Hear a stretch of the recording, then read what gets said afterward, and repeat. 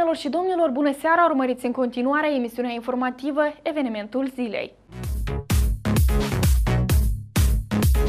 La Soroca, recoltarea cerealelor și legumelor din prima grupă se apropie de sfârșit. În pofida condițiilor climaterice nefavorabile, fermierii din Soroca se pot mândri cu roade frumoase. Cei mai buni dintre plugari au fost premiați din partea conducerii raionului în cadrul manifestării culturale Secerișul 2010. Ploile, grindina, dar și temperaturile înalte înregistrate vara aceasta le-au adus mari bătăi de cap agricultorilor. Cu toate acestea, roada de cereale și legume în raionul Soroca este satisfăcătoare.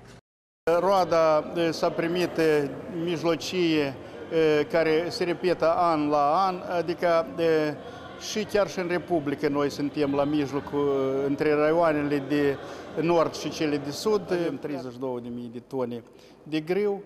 Marea majoritate este grâu alimentar, ceea ce este preponderent și sunt în cerealieri și leguminoase recoltate 40.000 de tone și iarăși este un, o cifră bună.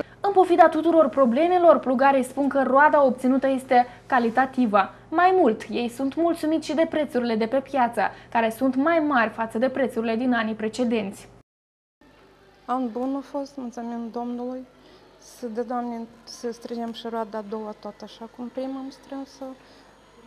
Ne bucurăm, ploi a fost destul, roadă bună, frumoasă, calitatea bună. Anul ăsta prețurile ne-au bucurat în prima rată, nu știu pe urmă cum o să fie.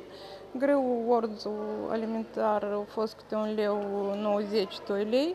2010 a fost un an deosebit la recoltare, fiindcă, cum vedeți dumneavoastră, avem temperaturi înalte, avem ploi și așa s-a început recoltarea cu ploi ternice, dar totuși am avut un pic de vreme bună, care am terminat recoltarea pe 1300 de hectare în timp, la timp, cu o recoltă, aș spune, nu chiar rea, S-am așteptat și mai mult, dar eh, am căpătat undeva 32 de centari la hectar. Pentru munca deloc ușoară depusă zi de zi plugarilor le-a fost organizată și o sărbătoare, Secerișul 2010. Aici ei au fost premiați cu diplome și premii bănești de către conducerea Raionului.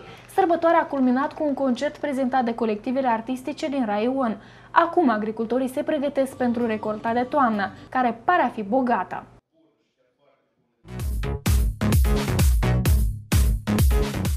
Stimați telespectatori, ați urmărit emisiunea informativă Evenimentul Zilei. La revedere!